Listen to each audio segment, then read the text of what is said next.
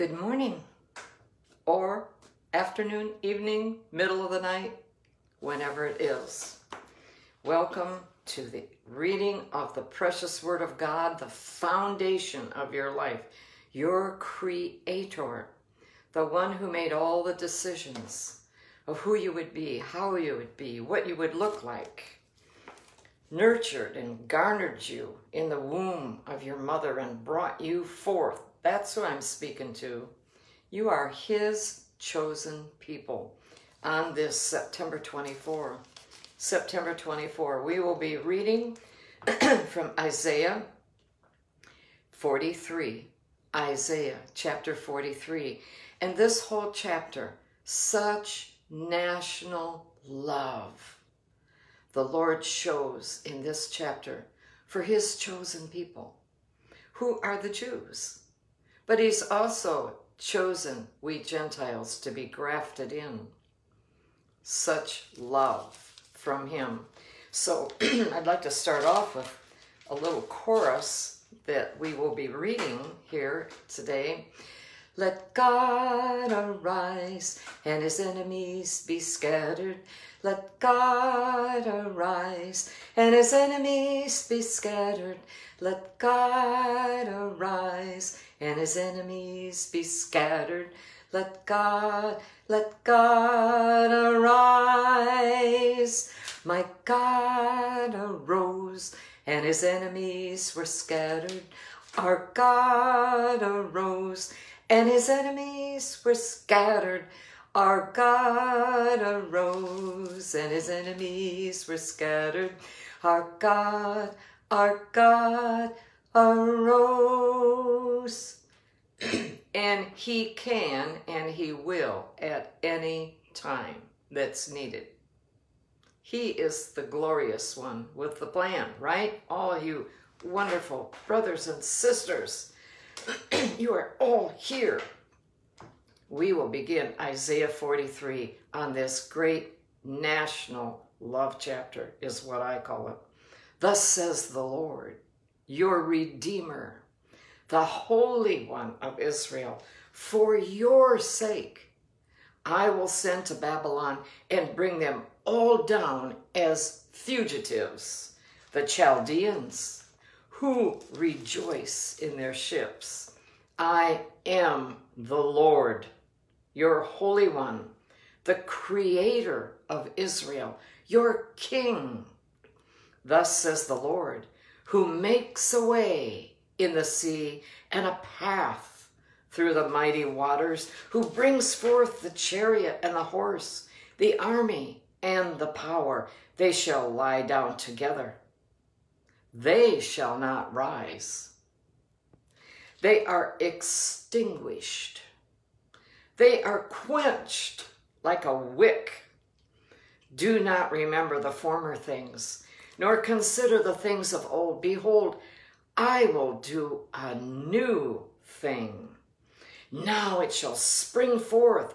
Shall you not know it? I will even make a road in the wilderness and rivers in the desert. The beast of the field will honor me. The jackals and the ostriches, because I give waters in the wilderness and rivers in the desert. I give drink to my people, my chosen. This people I have formed for myself. They shall declare my praise. But you have not called upon me, O Jacob and you have been weary of me. O Israel. You have not brought me the sheep for your burnt offerings, nor have you honored me with your sacrifices. I have not caused you to serve grain offerings, nor wearied you with incense. You have bought me no sweet cane with money Ah, sugar. Nor have you satisfied me with the fat of your sacrifices, but you have burdened me with your sins. You have wearied me with your iniquities. I, even I, am he who blots out your transgressions for my own sake. And I will not remember your sins. Put me in remembrance. Let us contend together. State your case. State your case that you might be acquitted.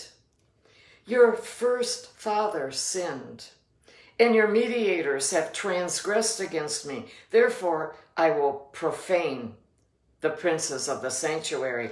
I will give Jacob, Jacob, to the curse, and Israel to reproaches. and why will he do that? Because he wants them to come back to him.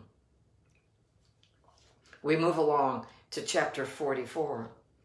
Yet hear now, O Jacob, my servant, and Israel, whom I have chosen. Thus says the Lord, who made you and formed you from the womb, who will help you. Fear not, O Jacob, my servant, and you, Yeshurun, whom I have chosen, for I will pour water on him who is thirsty and floods on the dry ground. I will pour my spirit on your descendants and my blessing on your offspring. They will spring up among the grass like willows by the watercourses. One will say, I am the Lord's. Another will call himself by the name of Jacob, Jacob. Another will write with his hand, the Lord's, and name himself by the name of Israel. Thus says the Lord, the King of Israel and his Redeemer, the Lord of hosts. I am the first and I am the last. Besides me, there is no God. And who can proclaim? Who can proclaim as I do? Then let him declare it and set it in order for me, since I appointed the ancient people and the things that are coming and shall come. Let them show these to them. Do not fear, nor be afraid. Have I not told you from that time and declared it? You are my witnesses. Is there a God besides me? Indeed, there is no other rock. I know not one. Those who make an image, all of them are useless, and their precious things shall not profit. They are their own witnesses. They neither see nor know that they may be ashamed. Who would form a god or mold an image that profits him nothing? Surely all his companions would be ashamed. And the workmen, they are mere men. Let them all be gathered together. Let them stand up. Yet they shall fear. They shall be ashamed together. The blacksmith with the tongs works one in the coals, fashions it with the hammers, and works it with the strength of his arms. Even so, he is hungry, and his strength fails. He drinks no water and is faint. The craftsman stretches out his rule. He marks one with the chalk. He fashions it with the plane. He marks it out with the compass and makes it like the figure of a man, according to the beauty of a man, that it may remain in the house. He cuts down cedars for himself and takes the cypress and the oak. He secures it for himself among the trees of the forest. He plants a pine, and the rain nourishes it. And then it shall be for a man to burn, for he will take some of it and warm himself. Yes, he kindles it and makes bread. Indeed, he makes a god and worships it. He makes it a carved image and falls down to it. He burns half of it in the fire, and with this half, he eats meat. He roasts a roast and is satisfied. He even warms himself and says, Ah, I am warm. I have seen the fire. And the rest of it, he makes into a god. His carved image. He falls down before it and worships it. He prays to it and says, Deliver me, for you are my God. They do not know nor understand, for he has shut his eyes so that they cannot see, and their hearts so that they cannot understand. Nor is there knowledge nor understanding to say, I have burned half of it in the fire. Yes, I have also baked bread on its coals. I have roasted meat and eaten it. And shall I make the rest of it an abomination? Shall I fall down before a block of wood? He feeds on ashes. He, a deceived heart has turned him aside, and he cannot deliver his soul, nor say, Is there not a lie in my right hand? Remember this, O Jacob and Israel, for you are my servant. I have formed you. You are my servant. O Israel, you will not be forgotten by me. I have blotted out like a thick cloud your transgressions, and like a cloud your sins. Return to me, for I have redeemed you. Sing, O heavens, for the Lord has done it. Shout, you lower parts of the earth, break forth into singing. O you mountains, O forest, and every tree in it.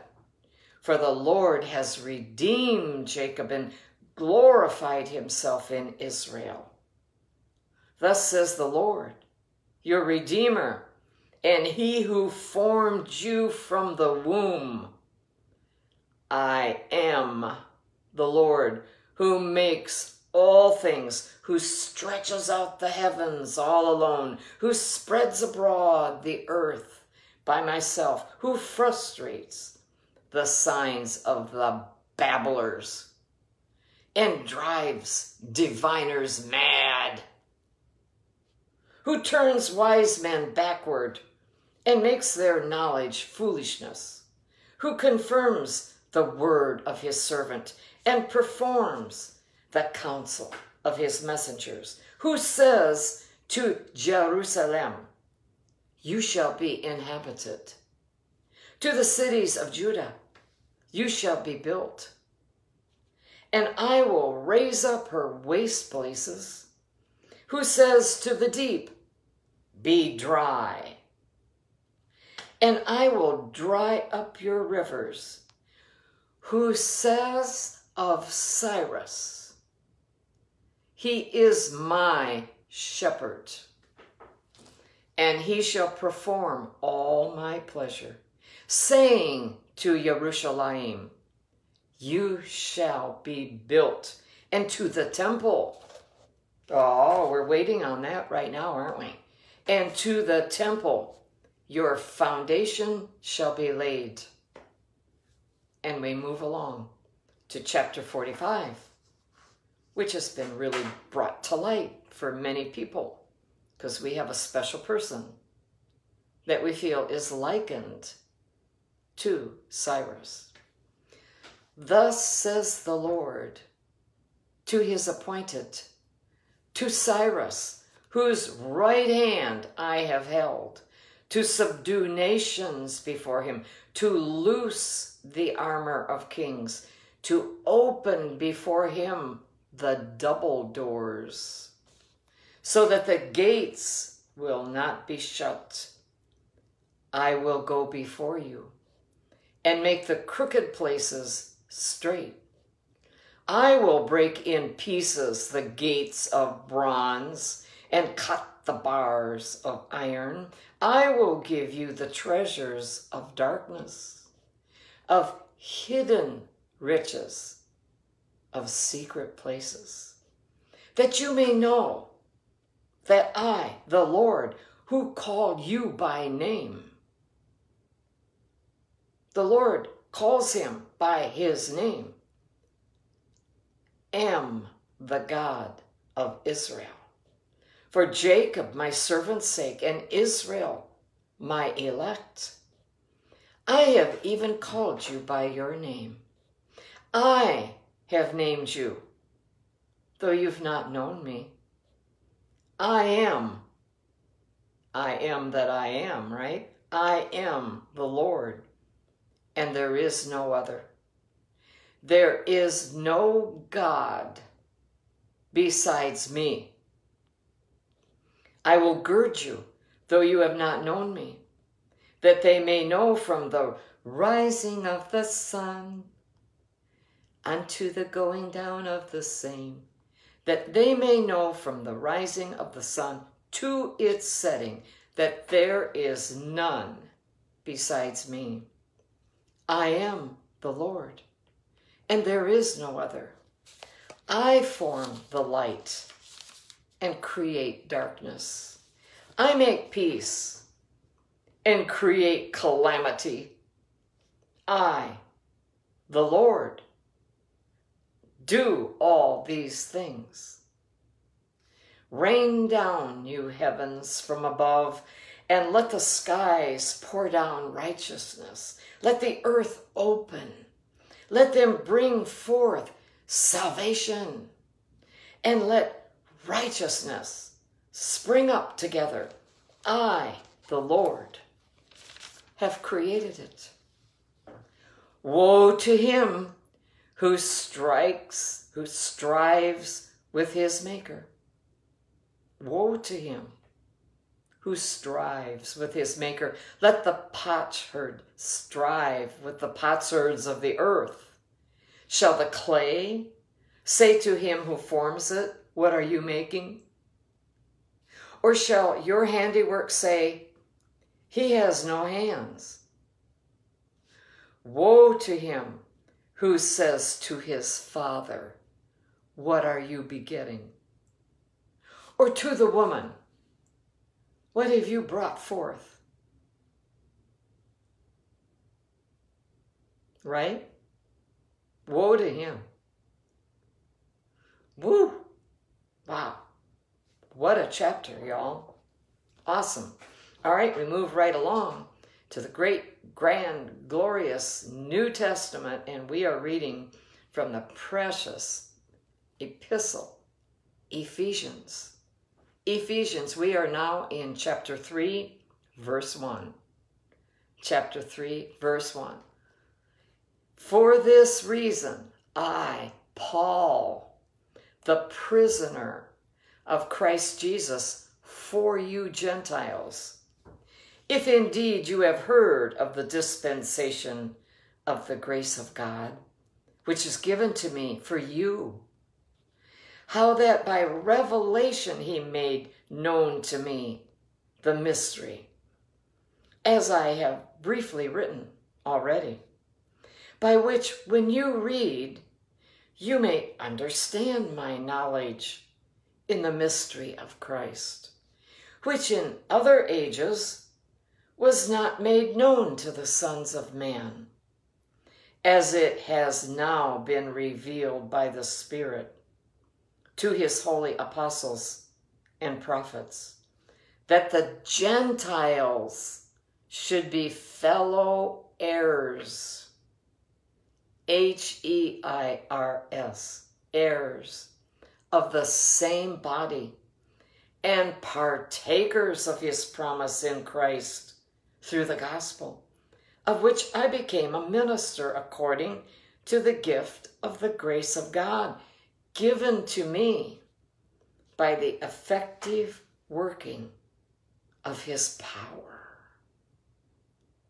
To me, who am less than the least of all the saints, this grace was given that I should preach among the Gentiles the unsearchable riches of Christ and to make all see what is the fellowship of the mystery, which from the beginning of the ages has been hidden in God, who created all things through Jesus Christ, to the intent that now the manifold wisdom of God might be made known by the church to the principalities and powers in the heavenly places, according to the eternal purpose which he accomplished in Christ Jesus our Lord,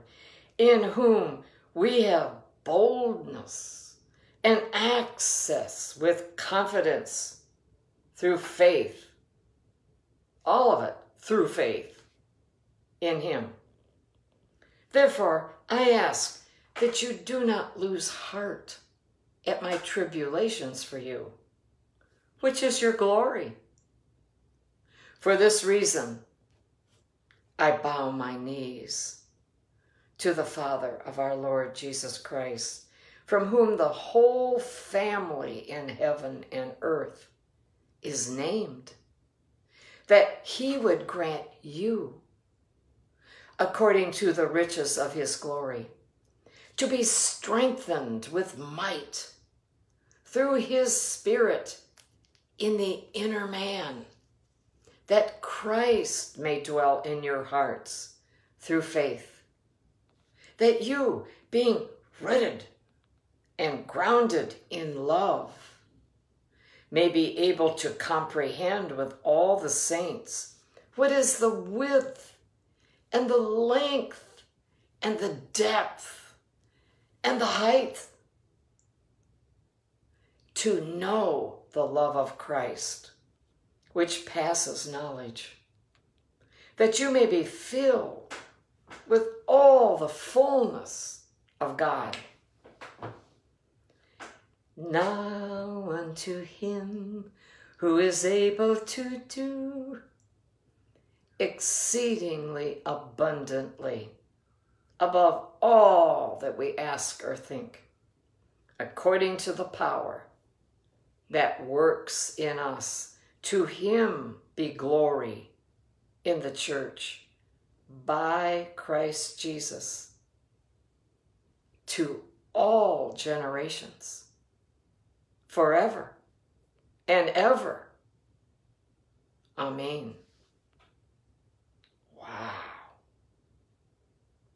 I mean, I consider it such a privilege to even read it. But that's the great and grand love message of a strong foundation to live by every day in Him, given to you, written down by Paul. He gave it to the Ephesians, but it's for you also, and me. Oh, drink it all in. Drink it all in, my precious brothers and sisters. He loves you so. We move right along to Psalm 68. Psalm 68. Oh, this is one of my favorites.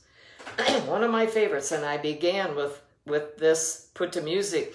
Let God arise and his enemies be scattered. Let God arise and his enemies be scattered.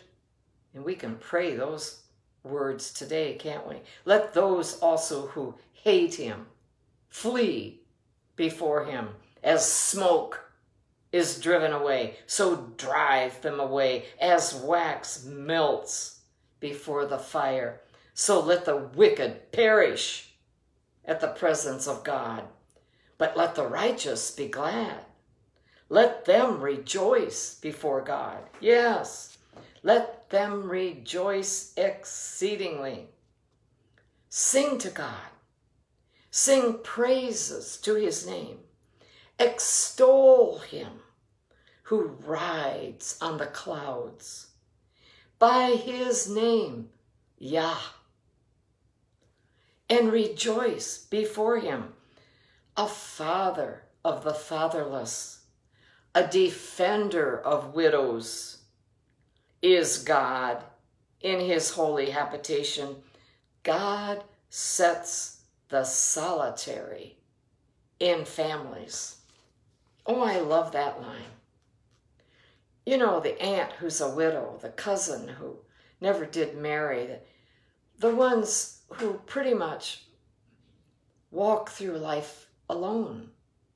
He sets the solitary in families. He brings out those who are bound into prosperity.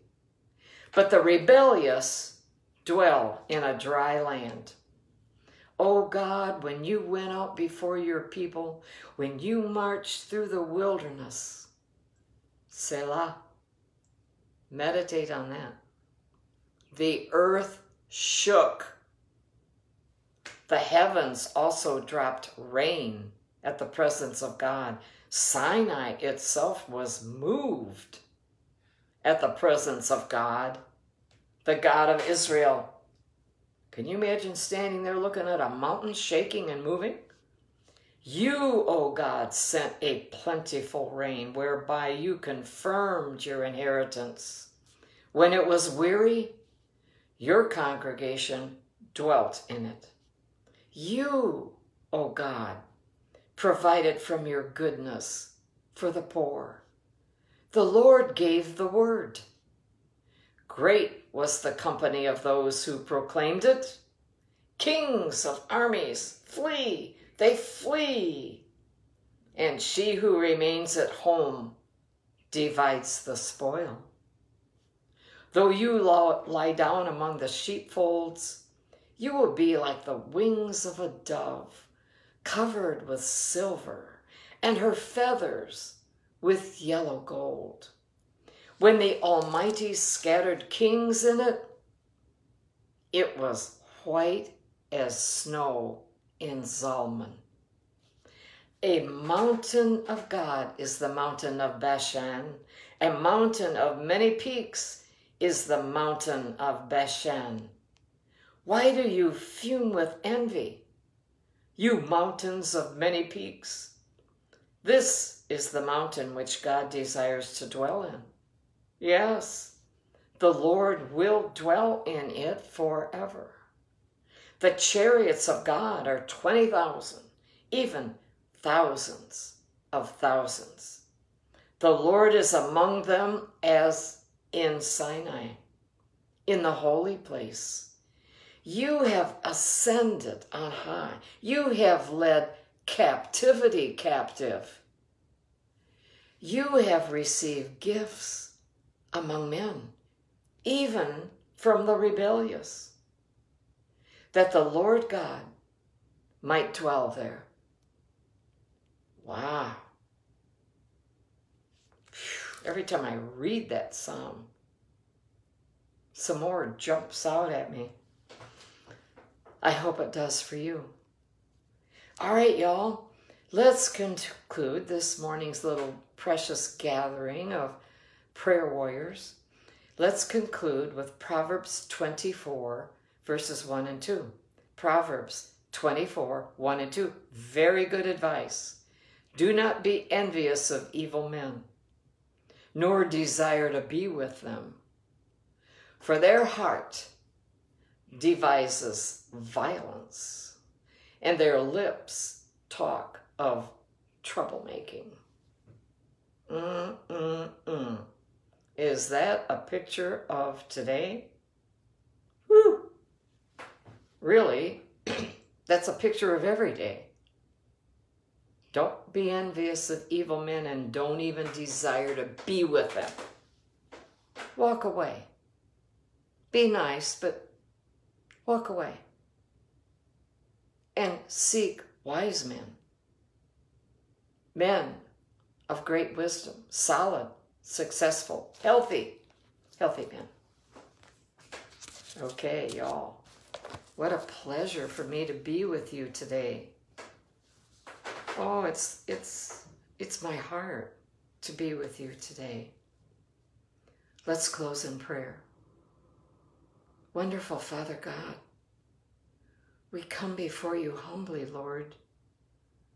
This God who writes such a love, who who carries all the power, all the creativity, who made it all, and you declare you made it in Christ Jesus. You made it in your Son. And there you are, Jesus, right at your Father's right hand, the place of honor, because you came and you performed His will. You took on the hardest task anybody ever took on going to the cross, suffering, beaten, bruised, spit upon, mocked, hated, tormented. You did all that just for you. Just for you. And for me. You paid the price. And then you cried, It is finished. You paid it, and it can't be unpaid. You paid it, and if we're wise and our hearts are tender, we will receive all we know, all we can from you, Lord Jesus. And furthermore, you gave us Holy Spirit. Wonderful Holy Spirit, I feel your presence. You gave us Holy Spirit to illumine on it, to make alive this word, to show us on a daily basis, a minute by minute, moment by moment. You help us. You reveal to us, Holy Spirit. You, you strengthen us. You were sent for all these wonderful ways and purposes we are so grateful. Oh my, I'm I am so grateful. I don't know what I'd do without you, Holy Spirit. You are wonderful. You guide. You caution me when I need it. You encourage me to go ahead when I need it. You do that for all of these brothers and sisters. Our desire is to be refreshed in you, Holy Spirit, that we feel your presence every single minute.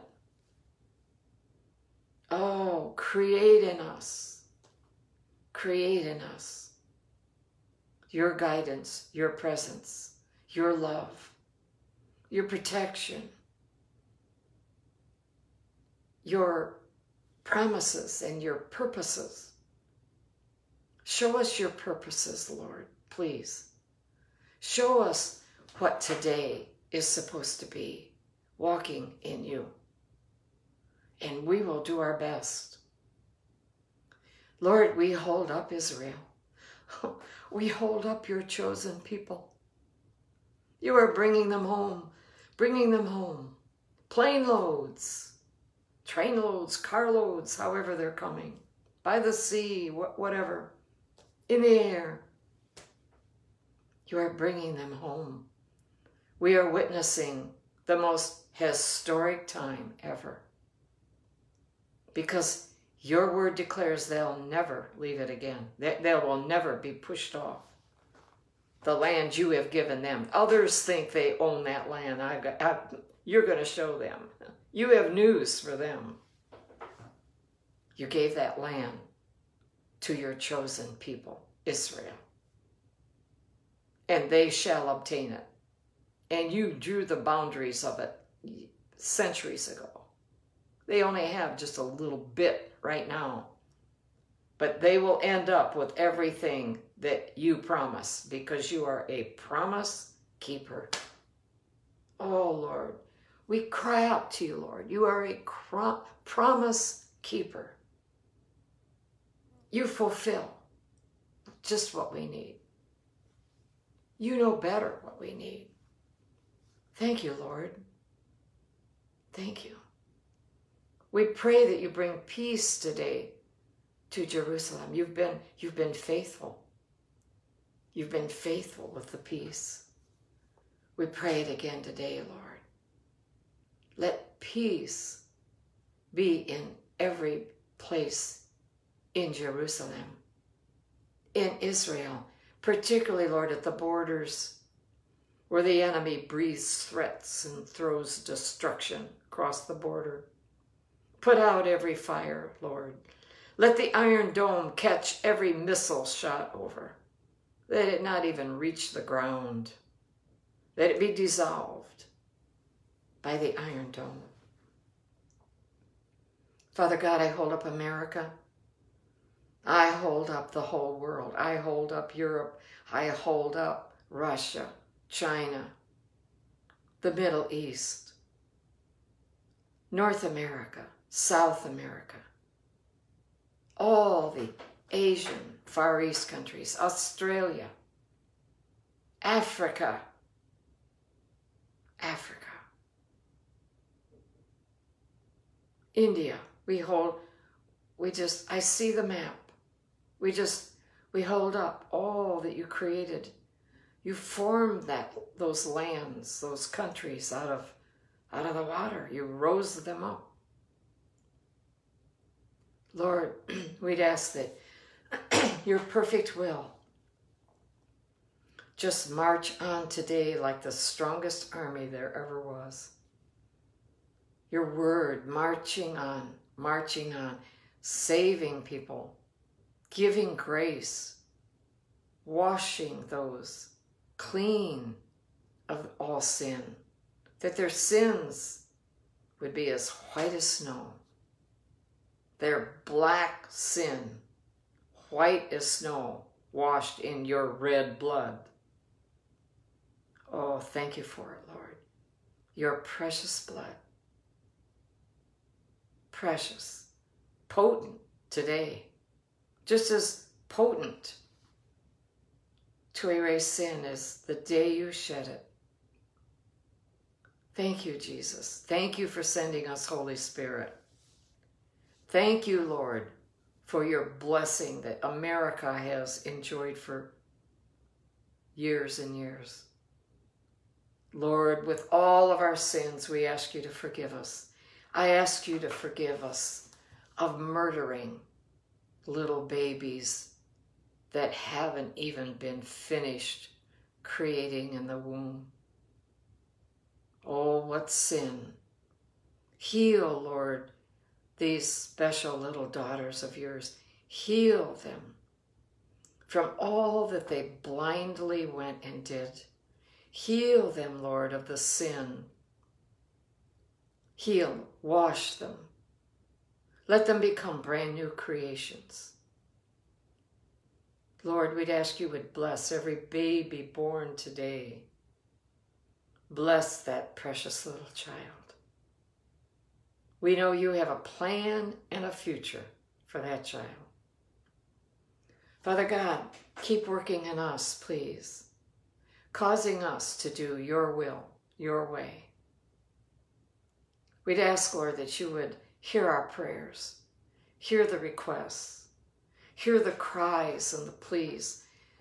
Father God, please bring comfort to those who are grieving, who've lost loved ones who are facing very difficult situations and problems. Lord, you have answers. And please hear them as they cry out to you.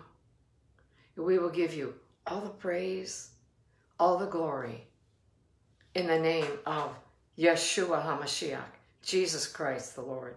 I bless you today and I pray that you have just the most beautiful day of all in the Lord. Amen and amen.